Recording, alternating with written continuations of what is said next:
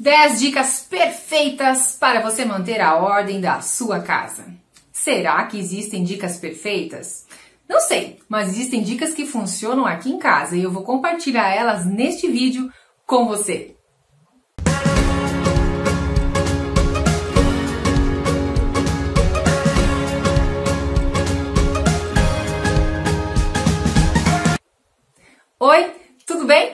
Sou Edel Trotlitkin, especialista em organização, criadora do método Transformando Espaços, que é a base do curso de organização do lar. E no vídeo de hoje eu vou conversar com você sobre 10 dicas para manter a ordem em casa.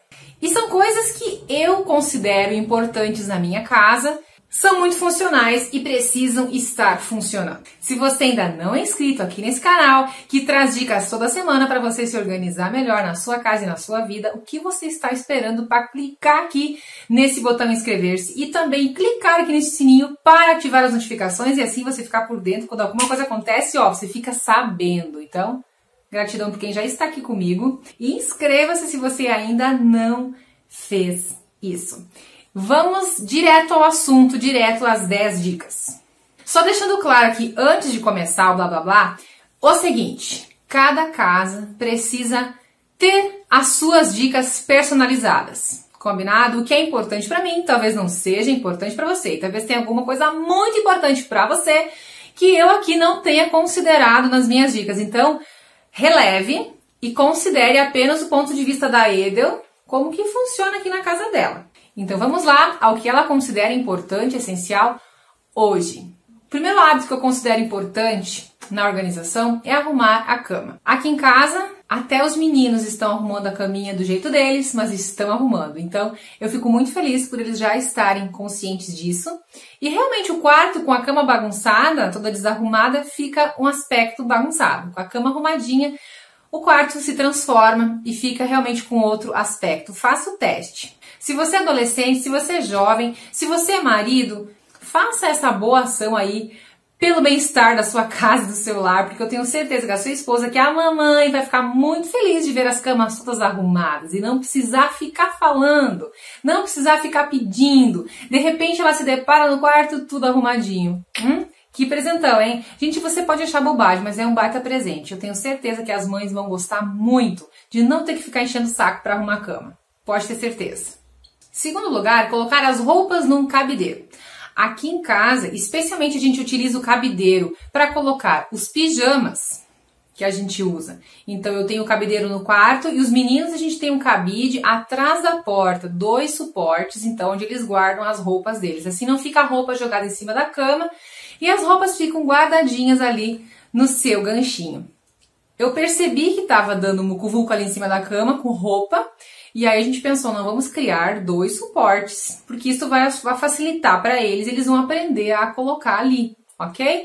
Às vezes só o que falta você criar um sistema para que ele seja utilizado. Tem pessoas, talvez, que, que, que, que funcione um cesto de roupa suja no quarto, um cesto para você colocar dentro a roupa. Né? Aqui em casa não funciona esse esquema. Só uma ideia. Terceira coisa, varrer a casa seja aspirando né, o pó, ou seja varrendo, ou seja passando um mop ou um paninho mesmo, deixando o piso limpinho, também a casa se mantém muito mais limpa e organizada. A quarta tarefa é tirar o pó, seja dos móveis ou também do beirado das janelas. Então, também faz com que a casa tenha outra carinha, outro aspecto. Uma outra coisa muito importante na casa que eu considero é a pia limpa, a pia organizada, sem louça, é, para ficar guardando e sem louça suja, né? E também, já entrando no outro esquema, o fogão limpo. Também o fogão direitinho, fechadinho, se não está em uso, deixar ele higienizado, bonitinho, limpinho sem nenhuma coisa em cima. Para mim, assim, fogão e pia na cozinha são os dois lugares onde você chega e começa a utilizar, começa a mexer. Então, para mim, esses dois lugares têm que estar limpos. É algo já assim, é muito natural isso, né? Pia e fogão sem nada em cima. Outro item importante, até já falei sobre essas dicas, acho que em outros vídeos, a questão do banheiro limpo, ter o banheiro limpo, especialmente a pia, né, a cuba onde a gente escova os dentes, lava as mãos, deixar sempre esse espaço limpinho também o vaso sanitário, o box, especialmente essas áreas. Então é muito importante que esteja limpinho. Roupa suja é um item também muito importante que às vezes gera bagunça, aqui mais no caso de organização mesmo, gera bagunça a roupa suja quando ela não tem um lugar definido para ser colocada, seja num cesto no banheiro, que depois você vai transferir então lá na lavanderia nos seus cestos, ou um único cesto, não sei como funciona aí o sistema de lavagem de roupas na sua casa. Então, de acordo com o espaço que você tem, de acordo com a frequência que você lava, então é importante criar, é, criar este pequeno sistema. Isso também auxilia muito, muito, muito na organização das tarefas. E por falar em tarefa, rotinas da casa bem organizadas também fazem muita diferença. Ter um menu semanal, ter uma lista de compras organizada ou até mesmo um checklist de tarefas de organização e tarefas de limpeza é muito importante que a gente tenha em casa para que tudo funcione de uma forma super funcional. Eu não consigo funcionar em casa sem essas ferramentas simples né, e que realmente fazem uma diferença tremenda. Eu vou deixar aqui na descrição do vídeo o link para o meu planner do lar gratuito para você conhecer, imprimir e talvez utilizar também na sua casa para organizar melhor as suas rotinas. É super especial. Este planner também é disponibilizado no curso de organização do lar. Na verdade, lá já tem uma outra versão, a versão mais atualizada dele. Então, aqui é a versão antiga que eu vou deixar gratuita aqui para você. Lá no, no curso a gente tem uma versão já atualizadíssima.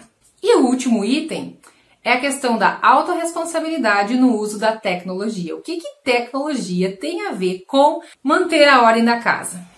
Quanto tempo a gente fica envolvido com a tecnologia? Você já fez esse cálculo? Você já percebeu quanto tempo a gente fica? A gente, talvez nas redes sociais, as crianças jogando, né, os maridos também jogando, enfim, sei lá fazendo o quê. Quanto tempo a gente usa né, a tecnologia? Muitas vezes com propósito, fazendo coisas que a gente gosta, mas muitas vezes a gente perde muito tempo com isso. Né? A gente perde muito tempo. E aí a gente deixa de fazer coisas na casa, a gente deixa de realizar as tarefas que a gente deveria realizar, que a gente né, precisa fazer para ficar se distraindo e ficar realmente perdendo tempo.